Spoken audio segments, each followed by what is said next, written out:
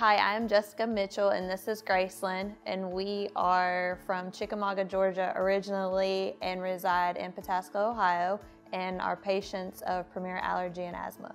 When we first saw that she needed to be seen by somebody, she was having a hard time breathing. She was wheezing a lot. She was struggling a lot in the summer with the sneezing, the runny eyes, runny nose, and she was just miserable every time that she went outside.